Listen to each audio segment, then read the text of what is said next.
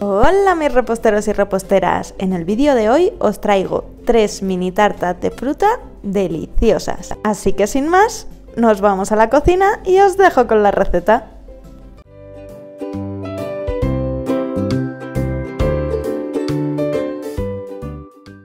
Para esta receta vamos a necesitar 75 gramos de mix sin gluten, 3 huevos y 90 gramos de azúcar. Lo primero que tenemos que hacer, el bol donde vayamos a montar las claras, lo tenemos que limpiar con un paño y un poquito de limón o de vinagre. Esto ayudará a que no quede ningún resto de grasa y se monten mejor nuestras claras. También vamos a hacer lo mismo con las varillas donde vayamos a montarlas. Seguro que a vosotros también os ha pasado. Os invitan a un cumpleaños y resulta que no hay postre para celíacos. Oh, Dios mío, con estas mini tartas nunca más os quedaréis sin postre.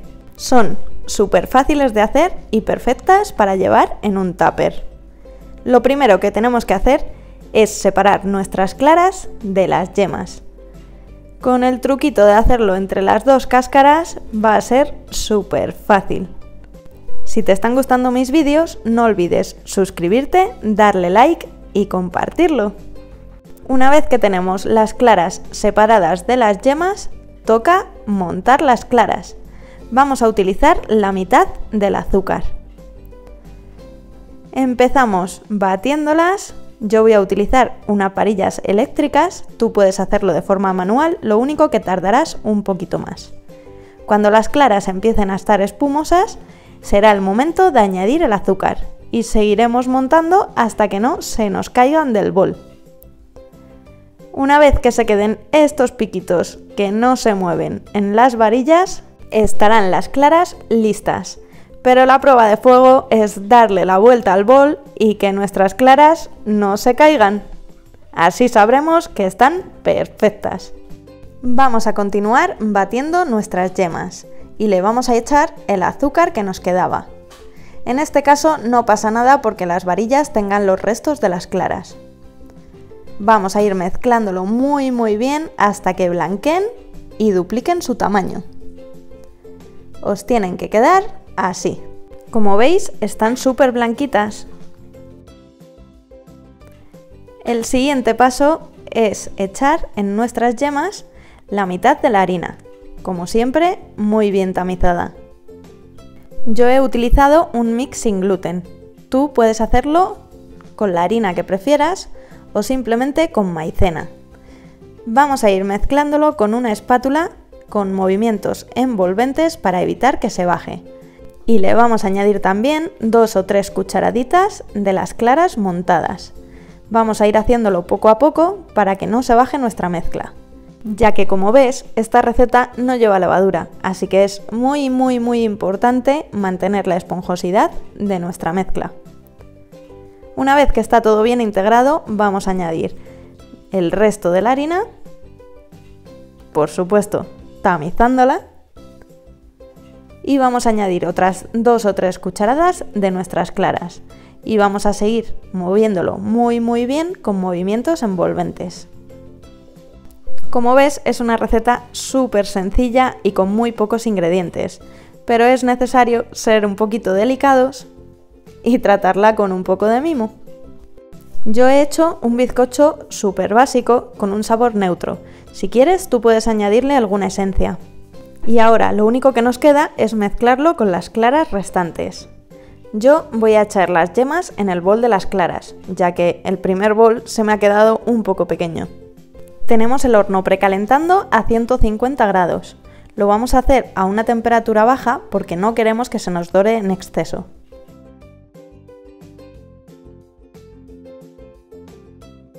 Como veis queda una masa súper esponjosa. Dan ganas de comérsela ya. Vamos a terminar de mezclar.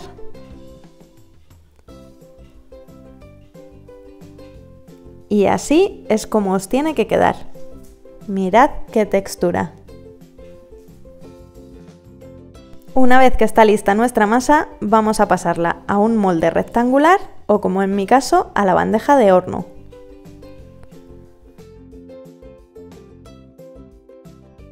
Como veis, la he forrado con papel de horno para evitar que se nos quede pegado el bizcocho y he echado un poquito de aceite debajo para evitar que se me mueva el papel.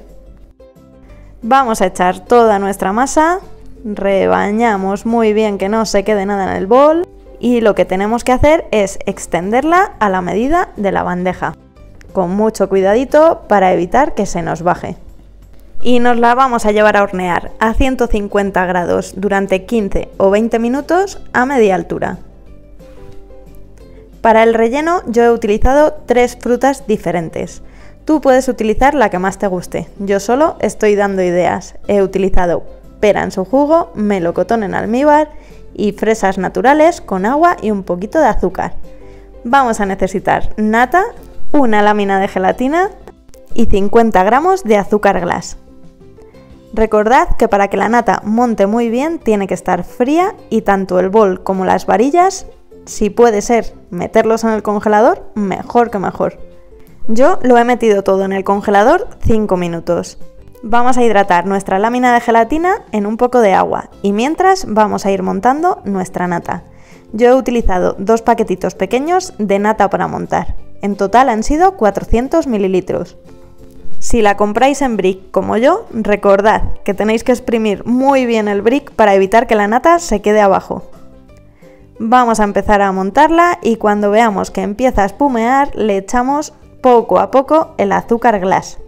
Se me ha olvidado enseñaros que también vamos a necesitar dos cucharaditas de leche en un vasito y lo vamos a calentar unos 30 segundos en el microondas. Cuando tengamos la nata casi casi montada, que le falte un poquito, es cuando vamos a añadir nuestra gelatina. Entonces lo que vamos a hacer en esas dos cucharadas calientes de leche vamos a diluir la gelatina bien escurrida y se lo vamos a ir incorporando muy poquito a poco a la nata. No os preocupéis porque la leche esté caliente, ya que no va a bajar nuestra nata. Al estar la nata muy muy fría y la leche ser muy poquita cantidad, no vamos a tener problema ninguno. Así que lo que tenemos que hacer es seguir montando nuestra nata y muy poquito a poco, como veis en el vídeo, ir añadiendo nuestra leche con gelatina. Esto va a ayudar a que no se baje la nata y nos quede firme durante mucho más tiempo. Una vez que tenemos la nata montada, vamos a probarla y si está a nuestro gusto de azúcar, la vamos a pasar a una manga pastelera. Yo le he puesto una boquilla de estrella y me voy a ayudar del vaso de la batidora para que me sea más fácil llenar la manga. Vamos poco a poco con ayuda de la espátula rellenándola. Y una vez que tengamos nuestra manga llena, la vamos a ir acomodando para poder cerrar la parte de arriba con una pinza. Y la vamos a conservar en la nevera hasta el momento en el que la vayamos a utilizar. Ya he sacado el bizcocho del horno. Tiene una pinta deliciosa. Le he dejado unos minutos que se enfríe y con ayuda de otro papel de horno vamos a darle la vuelta para poder quitar el de abajo. Con mucho cuidadito, que no se rompa nuestro bizcocho, vamos a ir despegando el papel. Y mirad qué pinta más rica tiene. Estoy deseando probarlo.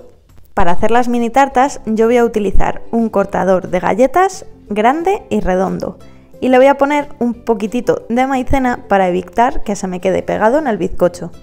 Otra opción sería hacer 6 cuadraditos con un cuchillo. Y si tú quisieras hacer una tarta grande, simplemente tendrías que cortar la plancha de bizcocho a la mitad. Vamos a ir marcando nuestras mini tartas con el cortapastas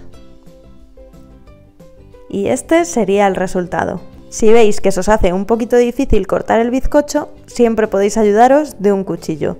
Y con los restos podéis hacer unos cupcakes. Si quieres que suba una receta de cupcakes, déjamelo escrito en los comentarios. Ahora sí, ha llegado el momento de montar nuestra tarta. Voy a empezar con la de melocotón. La primera mitad la voy a cortar en láminas para decorar la parte de arriba de mi tarta y el resto lo voy a cortar en pequeños cuadraditos. No tiréis el almíbar porque lo vamos a utilizar. Vamos a hacernos un poquito de hueco para poder trabajar bien y con un pincel vamos a ir empapando nuestro bizcocho con el almíbar de melocotón. Esto le va a dar un saborcito rico, rico. Una vez que tengamos el bizcocho bien empapado en almíbar, vamos a poner la nata con ayuda de la manga pastelera. Vamos a ir haciendo un círculo alrededor como si quisiésemos hacer una pequeña cestita. Os tiene que quedar algo así. y dentro le vamos a colocar los taquitos de melocotón. Si probáis esta receta en casa, contadme en los comentarios qué os ha parecido. A mí desde luego me encanta. Voy a añadir un poquito más de nata encima del melocotón. Esto es totalmente opcional. La puedes hacer como a ti te guste más. Y vamos a coger la parte de arriba y haciendo una ligera presión vamos a colocarla. Vamos a empapar con el almíbar también el bizcocho de arriba.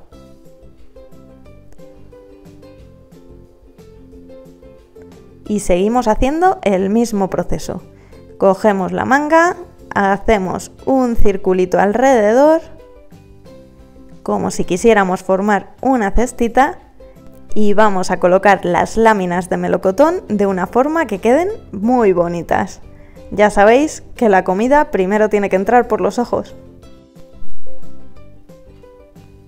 Con mucho cuidadito colocamos todas las láminas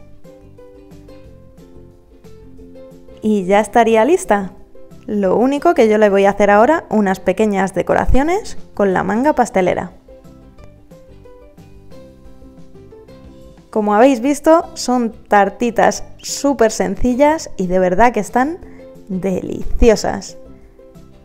Vamos a seguir haciendo lo mismo con el resto de nuestras tartas.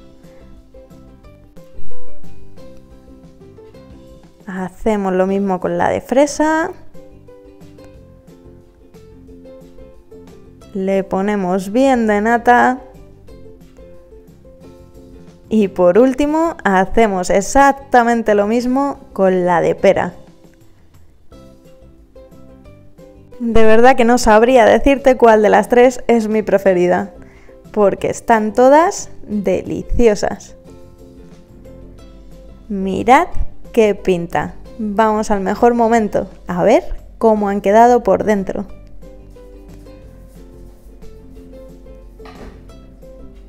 Está súper tierna y de verdad deliciosa.